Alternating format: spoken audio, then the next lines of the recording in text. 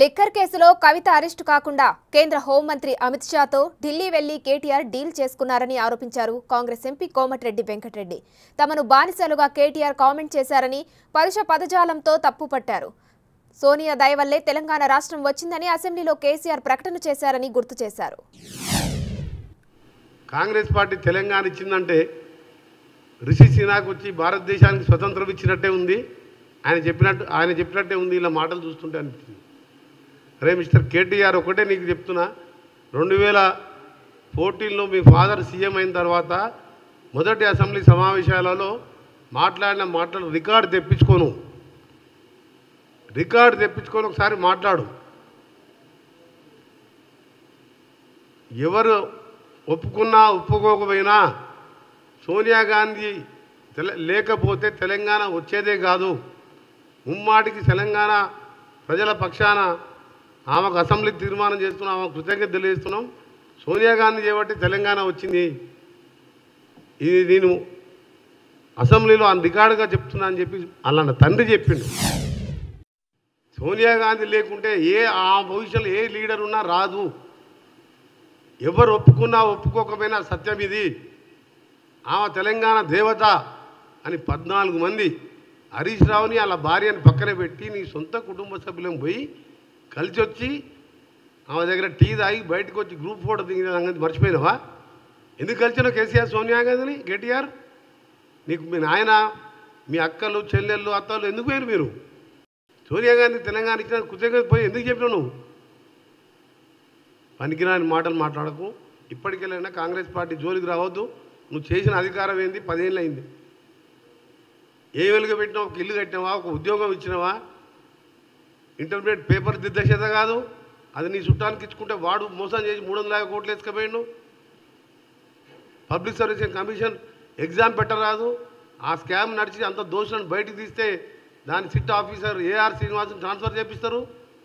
ఇవన్నీ చరిత్ర కూడా రేపు పార్టీ అధికారంలోకి వచ్చిన తర్వాత బరాబర్ బయట పెడతాం.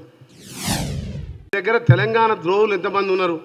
నాగేందర్ కట్టె పట్టుకొని ఇష్టం ఉన్నట్టు మేము రాజీనామా చేసి నేను మంత్రి పదవి నిరాదీక్ష చేసే సమయంలో నా ఎమ్మటి అందరు కాంగ్రెస్ వాదులు అందరూ వచ్చిండ్రు.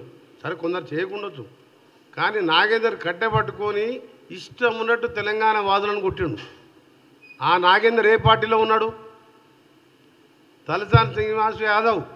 అరే కేసీఆర్ ఇదే మా రికార్డులో చూపిస్తా.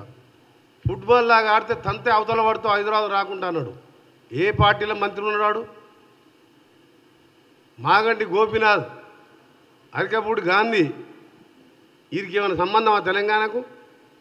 మల్లారెడ్డి కాలే పాలంకుండు పూలంకుండు భూములు కబ్జా చేసిండు.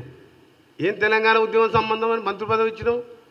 పట్నం మహేందర్ రెడ్డి తెలంగాణ ఉద్యమం ఉన్నాడా? సబితా ఇంద్రారెడ్డి కిరణ్ కుమార్ రెడ్డి దగ్గర ఉన్నాడు. ఆమె మంత్రి పదవి ఇప్పుడు ఎందుకు ఇచ్చినావు? తెలంగాణ ద్రోహులంతా నీ క్యాబినెట్లో పెట్టుకొని నువ్వు ఉల్టా కాంగ్రెస్ పార్టీ మొత్తం తెలంగాణ ద్రోహులు అని ఏదో మాట్లాడండి. చాలా పాయింట్లు ఉన్నాయి. మీరు ఏమైనా అడిగితే దానికి ఆన్సర్ చెప్తాం కానీ తెలంగాణ ద్రోహం అంతా నీ క్యాబినెటే. డిప్యూటీ స్పీకర్ వెనకగల కొట్టినావు. ఇదే ఇటల్ రాయిందని చెప్పిన వంద సార్లు. ఎన్నిసార్లు మా కళ్ళ మా ప్రగతి భవన్ పోయి ఏడ్చినాం మేము. ఏడ్చి వచ్చినా అని ఈటల రాజేందర్ ఫైనాన్స్ మినిస్టర్గా ఏడ్చిన వీటన్నిటికి సమాధానం చెప్పు కేసీఆర్. నీ దగ్గర పనిచేస్తున్న వాళ్ళు బానిసత్వం. నీ పార్టీలో ఉన్న వాళ్ళు చెప్పిండ్రు. నీ మంత్రులు నిలగొట్టినప్పుడు వీడియోలలో వచ్చినాయి. మంత్రి లోపలి కారు వస్తే ఏమైందా నీకు? మంత్రి అంటే ముఖ్యమంత్రితో సమానం. మేము ఎప్పుడు ముఖ్యమంత్రి మీ ఎమ్మెల్యే ఉన్నప్పుడు నేనే కాదు. నూట ఎనభై ఆరు మంది కాంగ్రెస్ ఎమ్మెల్యేలు రాజశేఖర రెడ్డి ఉన్నా ఏ ముఖ్యమంత్రిని ఇప్పుడు అపాయింట్మెంట్ తీసుకోలే. ఎవరిదిరా బానిసత్వం? ముఖ్యమంత్రి ఈయన ఉన్నాడు నెక్స్ట్ కేటీఆర్ తర్వాత హిమాన్షి ఉంటాడు. కాంగ్రెస్ పార్టీలు ఎవరైనా కావచ్చు. ఒక్క ఎమ్మెల్యే లేడు కిరణ్ కుమార్ రెడ్డి కూడా అయ్యిండు. ఇందులో ఎవరన్నా అవుతారు కాంగ్రెస్ పార్టీలు ఏముంది? గెలిచిన ఎమ్మెల్యేలు వాళ్ళ అభిప్రాయం తీసుకొని మెజారిటీ ప్రకారం నిర్ణయిస్తుంది హైకమాండ్ అదొక ప్రజాస్వామ్యం. నువ్వు నీ తర్వాత కేటీఆర్ కేటీఆర్ సీఎం కావాలి కేటీఆర్ సీఎం కానివాడు ఫలాభిషేకం చేస్తుంటాడు.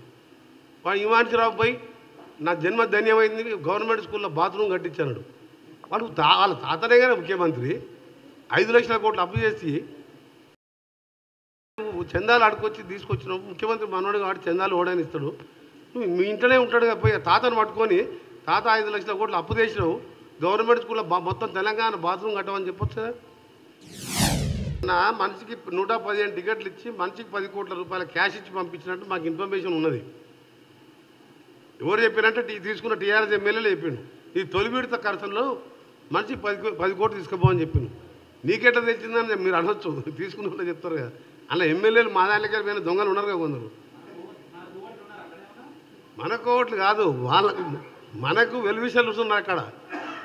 వాడంటే నేను నేను గెలవాలి అండ్ గవర్నమెంట్ ఓడిపోవాలి. కాంగ్రెస్ రావాలనుకునే వాళ్ళు చాలామంది ఉన్నారు అక్కడ.